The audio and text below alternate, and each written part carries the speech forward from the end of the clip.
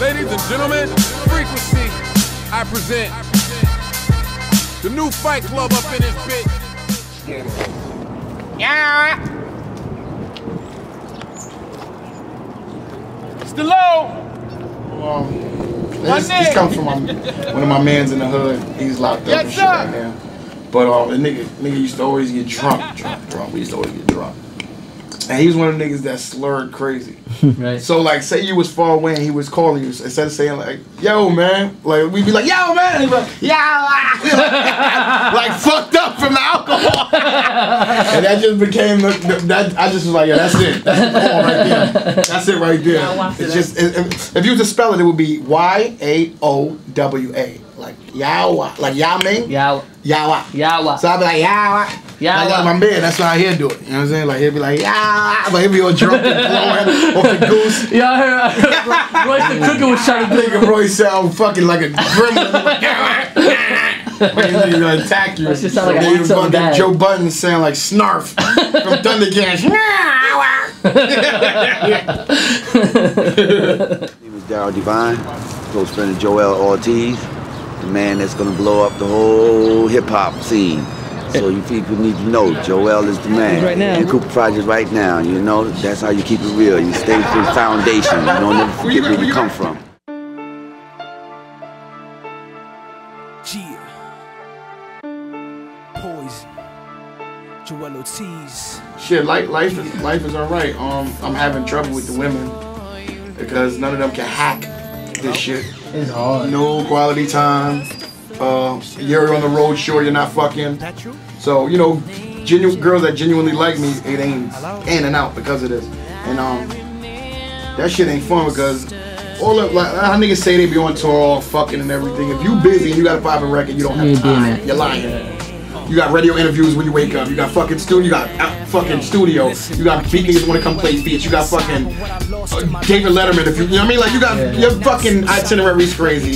So you know you're not boning like that. You know what I'm saying? Like I'm in my 20s. I played enough. I want to, you know, what I mean, I'm looking for a lady. So I'm throwing a contest on internet. Nah. I was gonna say, you see that lady? You see that lady? You got a shot right now. You gotta get flooded with emails. you gotta get Maestro under MySpace. Yeah, I'm just, you know, I'm just chilling, but that shit gets frustrating. That's, that's that shit. Everybody wants that shit. You can act like you don't. You want that shit. You want to come home to something. It's like, yo, baby, Detroit was crazy. Mm, you do you do a big record or something big happens, you want to call that one Of person. course, you want to look off it when I'm fucking holding up a Grammy, because I will. Mm. When I'm holding up a Grammy, I want to say that look, again. You know what I'm saying? I want to look. I want to be like, yo, I'm thanking my wife. You know what I'm saying? Yeah. I don't want to be like, damn, who's going? Who am I bringing to the Grammys? That shit is kind of whack. You know what I'm saying? After a while, it's just like, oh, okay, dress her up. She looks good. Bring her to the Grammys. Now I want some substance. You know what I'm saying? I want a backbone there. You could be like, I want to thank that guy who interviewed me. Yeah. That's it, really? in the club pouring sips for me. Both our friends looking for us, but we history. Another night, another thick shorty. But see that magic that we had got my mind playing tricks on me. Cause after Um, at the same time that you know I'm a part of a and four-man group called House. holiday. We're doing dope shows and working on the album and stuff like that. I have not forgotten that I'm Joell Ortiz. You know, I, I, I um I bring my element to that group. And when I step outside of the group, my element is still remain. But you you heard some records like Yeah. my album is gonna be crack.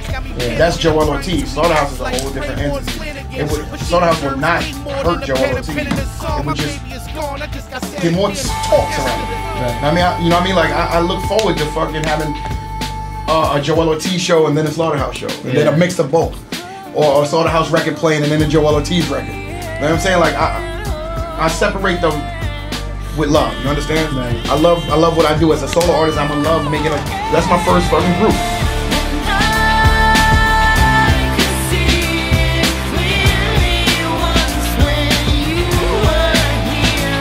Anybody that know Joel Mars is off the hook, but y'all don't play no games. So like, Joell, get your ass upstairs, boy. Whoop his ass.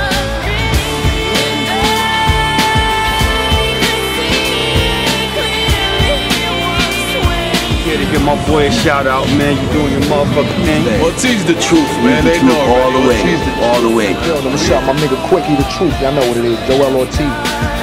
Pieces of separated, but it will not hinder me or stop me from going where Joell Ortiz is going. Like, my plan is I'm I'm trying to be that nigga.